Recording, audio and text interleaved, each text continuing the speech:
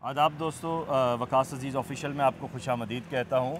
इस वक्त Islamabad high court के बाहर मौजूद हैं और मेरे साथ हमारे जदीद जो डिजिटल मीडिया जर्नलिज़म कहें या पाकिस्तान की जदीद सहाफ़त का एक उभरता हुआ सितारा जनाब बिलाल अब्बासी साहब तशरीफ़ रखते हैं। सर कैसे हैं आप? खैरियत से? Thank you for appreciation Bilal भाई आपको खुश आमदीद कहता हूँ। बहुत जल्दी माशाल्लाह आपने नए लोगों में अपना नाम बनाया, मकाम बनाया। मियाँ नवाज़ शरीफ साहब के आज इंतहाई अहम केसेस हैं। एहतसाब अदालत में उनके वकील थोड़ी देर कबल पेश हुए और उन्होंने कहा कि एक तो ज़मानत दी जाए, दूसरा जब्त शुदा जो प्रॉपर्टी है वो रिलीज़ की जाए और तीसरा ये कि अब जब दोबारा वो यहाँ पेश होंगे इस्लामाबाद हाई कोर्ट में, जब आएँगे थोड़ी देर बाद तो ये मौक़ अपनाया गया है कि वो चार साल बाद सरेंडर करने के लिए आ रहे हैं। तीन नुकात, तीन केसेस तीन सवाल, तीन मुद्दे। बिलाल अब्बासी क्या कहते हैं? एक तो पहली बात ये आप हमारे उस्ताद हैं हम आपसे ही सीखते हैं। दूसरी बात यह है कि बड़ी नवाजिश। देखें इस मुल्क में हमारा जो सिस्टम है ना बसद एहतराम वो कंप्रोमाइज़ है। मियाँ नवाज़ शरीफ साहब को तनख्वाह ब्लैक ला डिक्शनरी से कानून देखा और दी के बेटे से तनख्वाह नहीं ली दस हज़ार दिरम कोई केस नहीं था।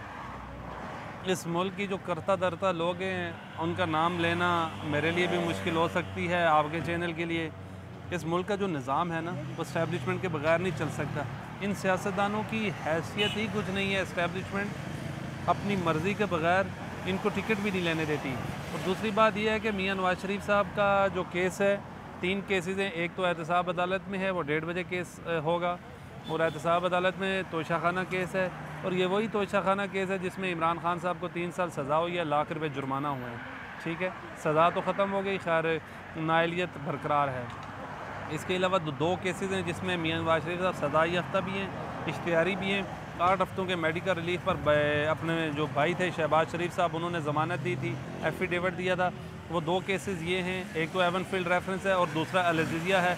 लट सी चौबीस तारीख तक ज़मानत दे रखी थी एहतसाब अदालत ने भी और हाई कोर्ट ने भी और कहा था सरेंडर करें। दिख तो यही रहा है, ज़मानत मिल जाएगी। अगर ज़मानत नहीं मिलती तो नेक्स्ट आप अडियाला से। नहीं, आपको लगता है कि जिन्होंने वजी अजम बनाने के लिए बुलाया वो अडियाला भेजेंगे?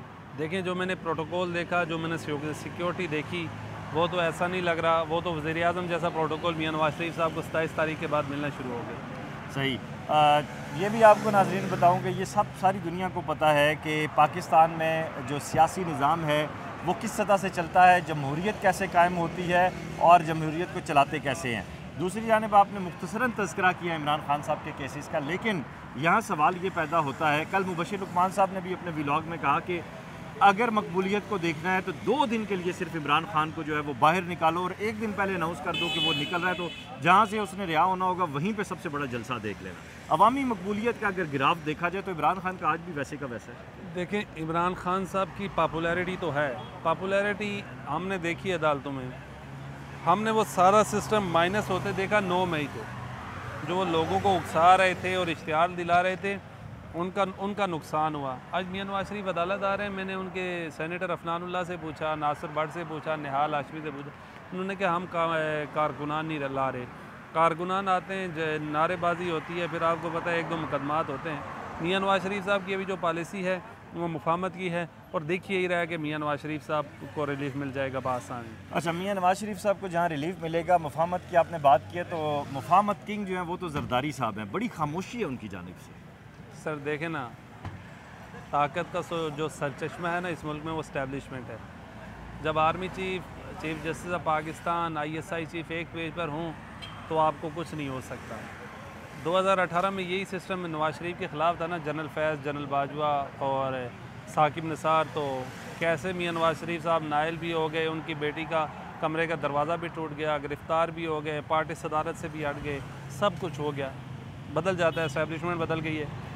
कल जो फैसला आया Qazi supreme court of Pakistan की जानब से 9 मई के जो मुतासरीन हैं, वो आप फ़ौजी अदालतों में नहीं, सिविल अदालतों में आएँगे। देखा जाए तो ये सिविलियन सुपरमेसी की बात की गई है। देखा जाए तो ये अदालतों पे अवाम का अतमाद कायम करने के लिए फ़ैसला लिया गया लेकिन कुछ लोगों का ये कहना है कि ये वही बेंच है जो बदयाल साहब का बेंच था, उनके करीबी लोग। अता साहब ने कहा ये वही लोग अपनी तकारीर और भाषण देते हैं। जब इन पर मुश्किल वक्त आता है तो इस्टेबलिशमेंट के ख़िलाफ़ हो जाते हैं। दो हज़ार अठारह में यही लोग ना जनरल बाजो और जनरल फैज़ को बुला बुरा भला कह रहे थे।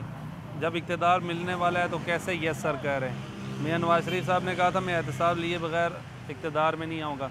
मियाँ नवाज़ शरीफ साहब ने सरेंडर किया भाई झुक गए हम्म, हम्म। इसीलिए जो है वो कबूतर उनके हाथ पे बैठा है और चिड़िया से बात कबूतर तक चली गई है। देखें वो तो कबूतर बैठाना उन्होंने यही कहा है कि वी वांट टू पीस अमन चाहते हैं। सही सही। आखिरी बात एक आम पाकिस्तानी की हैसियत से एक दर्द दिल रखने वाले। ये करोड़ों रुपया अरबों रुपया ये जो उन्होंने लगाया है अपनी शहनशाहियत के आने पे और फिर ये ढोल ढमक्के पे और इस जश्न पे अगर ये फ़लस्तीन के जो मज़लूम हमारे बहन भाई हैं उनकी सपोर्ट के लिए भेज देते तो वो नेशनल इंटरनेशनल काज ना बन जाता नवाज़ शरीफ एक इंटरनेशनल लीडर ना बन जाता। सर जिन्होंने खर्चा किया उन्होंने M P M N A के टिकट लेने हैं ना मसला ये है उन्होंने कुछ दिखाना था। मैं कुछ ऐसे लोगों के नाम बता सकता हूँ जिन्होंने अपने लोग इकट्ठे करके नाश्ता करवा के और तस्वीरें मरीम नवाज़ को भेजी हैं शहबाज शरीफ साहब को हमजा शहबाज को भेजी हैं ताकि हमारे पास लोग हैं हमें टिकट दिया जाए sir. Hmm. Everything is क्या कह सकता हूँ प्लान प्लांटेड है प्लांट है। अंडर एस्टिमेट नहीं किया जा सकता किसी को भी। अल्लाह ताला आपको खुश रखे अल्लाह सर। ताला आपको दिन दुगनी रात चुगनी तरक्की kind अता करे और दोस्तों इस वीडियो लिंक को ज़्यादा से ज़्यादा शेयर कीजिएगा। आखिरी बात यही है कि हाथी के पाँव में सबका पाँव अब हाथी कौन है और पाँव किसका है ये आप भी जानते हैं मैं भी जानता हूँ अपना ख्याल रखिएगा। खुदा हाफिज़। Thank you